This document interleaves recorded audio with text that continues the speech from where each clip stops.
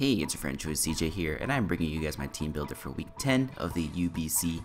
We are going up against Will, coach of the San Antonio Sparce, and he's got a team of Excadrill, Altaria, Cresselia, Crobat, Bewear, Tapu Fini, Jolteon, Incineroar, Stunfisk, Dusclops, and Dun. Sorry, did I say yeah? Stunfisk, Dusclops, and Dunsparce. It's a little bit of a tongue twister, but we got it. Um, Will's a real nice guy. Definitely recommend you guys check him out.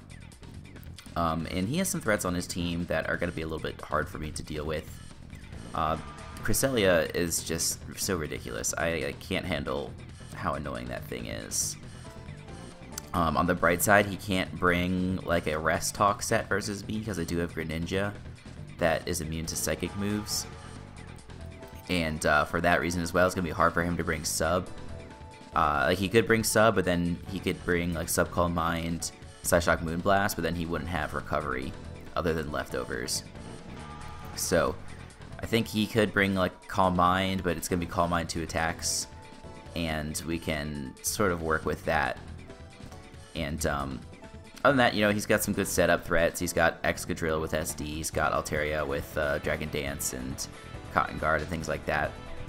He's shown that he's liked all of those sets in the past. Uh, Tapu Fini is something that he hasn't brought a lot this season, but I'm still a little concerned about it. Um, I can think I can deal with it, but you know, Tapu Fini is just if if if uh, you know, if I'm trying to status his Altaria or something and he has Misty Terrain up, I'm gonna have a bad time. Like a uh, Misty Terrain plus Cotton Guard Altaria would be really bad for me. Uh, Jolteon and Crobat are really fast and kind of scare me.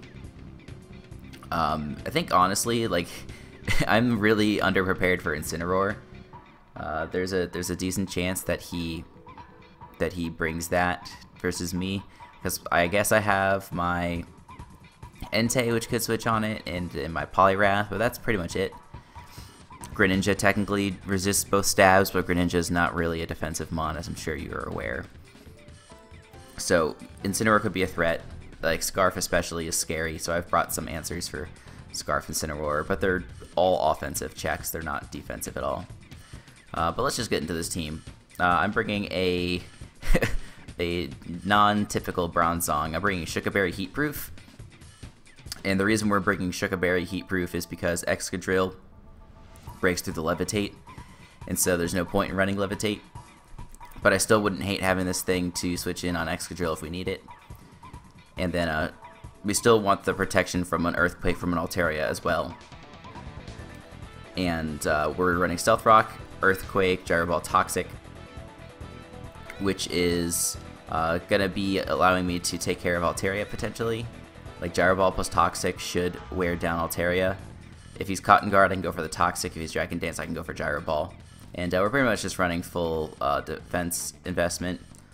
Uh, we could run a little bit more Spadef if I was more worried about uh, special Altaria, but we might be okay. Uh, next, we have a kind of specially defensive Legolas with Spirit Shackle, Toxic Roost, and Haze. Uh, we have a Kee Berry just to help us a little bit versus Excadrill. Excadrill is very scary versus my team. Uh, it's definitely very scary versus my team. And uh, we can switch in on EQ, get the boost from Kee Berry, and then we're going to be in position to take Iron Heads a little bit better. Because like a Life Orb, Adamant, uh, Iron Head does like 65% or so, something like that.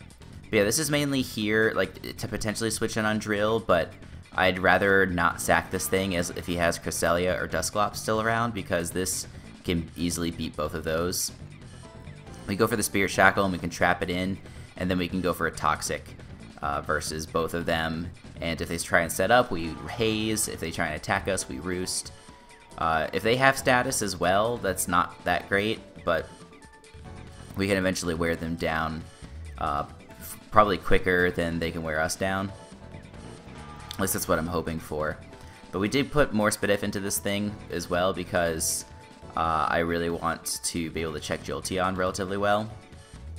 Like maybe for that reason I should go leftovers over Kee Berry, and maybe I'll make that decision before the battle. But I still like Kee Berry for taking out Drill a little better because Drill's just such a threat. Excuse me, it's like 1 a.m. as I'm recording this. But yeah, that's the decision I had this week. And uh, i this, uh, you know, talking about those two Calm Mind Mons, it can do pretty much the same thing versus Tapu Fini, which is going to be pretty nice. Uh, next up, we have a T-Wave Thundurus with a T-Wave Sludge Wave Focus Blast Thunderbolt. Enough sp speed to outspeed Jolly Drill. And uh, this is kind of like an oh shit button for things like Crobat, for things like Altaria. Uh, those are pretty much the only two things that I really need Thunderwave for, but it might also be nice for for other things. Uh, Sludge Wave to hit the Altaria, Focus Blast for Excadrill, T-Bolt for most everything else on the team. Uh, it's obviously immune, you know, Jolteon's immune and uh, Stunfisk is immune, but uh, other than that, I think this is a good bring. And we're running leftovers just to give ourselves some longevity. I can get off more T-Wave, switching more times to rocks, because uh, I don't have any removal, as I tend not to do with this team. Um, next we have a fully physically offensive Greninja with Darkinium Z. Waterfall, Night Slash, Gunk Shot, and U-Turn. Uh, the only change I might make to this is I might make Waterfall into Hydro Pump, because I can take these EVs, put it into here, make it 60, uh, run like a minus Spadef nature, and then uh, yeah, make this Hydro Pump. And the reason, not a Hydro Pump Cannon, that'd be awful. No, I did it again. Hydro Pump. Okay. The reason that would be better is because uh, I can do a little bit more damage to the Bewear with Hydro Pump. But uh, Hydro Pump's still going to do a, a, ton of damage to Excadrill uh, which is the, really the only thing that I need water coverage for. And I guess also the Incineroar.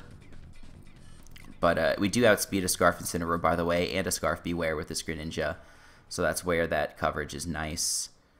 Um, we're going physical because I don't want him going with, you know, setting up with Cresselia and getting to, you know, these really high number of Spadef boosts, and then we can't hit it very hard with Dark Pulse. Night Slash, we can hit it uh, relatively hard, and you know on the plus side it does have a high crit ratio, so we'll see if that works out for us. Uh, but really I wanted to combo it with a Darkinium Z so we can get off a Black Hole Eclipse. If he's full Phys Def, then it should do at least 60% min, which is still embarrassing. Like, Cresselia is just so annoying, I don't even know what to do about it. But uh, if we need to try and hit it hard, like if I can whittle it down with uh, one of these other Pokemon, get it in range of the Darkinium Z, Assuming that he's not Colbur Berry, uh, then we can hit it up with that with that Black Hole Eclipse. But yeah, otherwise, this is just a good Pokemon versus his team. Gunk Shot can hit the Tapu Fini and uh, some other Pokemon on his team. U-Turn is there for momentum. I guess I could run Spikes, that wouldn't be the worst, but I still like U-Turn uh, as an option on this on this Pokemon. Next we have a Choice Scarf Mew, Volt Switch, Dark Pulse, Earth Power Psychic. Uh, I kind of struggled with what to put here. This is sort of the last Mon that I picked. I originally had Mew as my check to Cresselia and Dusclops, but I realized that Decidueye would do the job better this week because it can trap. And so I was like, okay, well, what else am I kind of worried about this week? Uh, well, you know, if anything gets set up, like the Altaria, I want to be able to do some damage to it. Uh, the Golbat scares me. Uh, Scarf Drill scares me, so Mew beats all those things pretty much. Uh, I guess less so the Altaria. I did have uh, Sludge Wave here before, but I want a move to go here that can do some decent damage to the Bewear. Maybe I'll do some Calcs and I'll put it back to Sludge Wave. But uh, otherwise, this is the set. And I don't think Altaria can OHKO me at plus one, uh, just because Mew is so naturally bulky. Uh, maybe it can, and I'm just underestimating it. But yeah, that's going to be the set, just kind of like the Revenge Killer. I could put something else here, like Tyrantrum was kind of tempting because it can do a little bit more damage to Cresselia with a Banded Head Smash. Uh, but Tyrantrum doesn't do that great versus the team otherwise, so I don't know. And last but not least, I have my favorite set of the week, which is my Salac Berry Nidoking with Endure. And so if I can get set up with this thing I should be able to outspeed everything on the team. That might be one reason where it'd be nice to go for spikes on the uh, Greninja because I can get a little bit more chip and I don't have Life Orb and uh, having that little bit of extra damage on everything would help. But yeah, uh, he only has two ground immunities, being Cresselia and Crobat. And maybe I should go with like Thunderbolt or Ice Beam on Nidoking just uh, just to hit the, the uh, Crobat a little bit harder.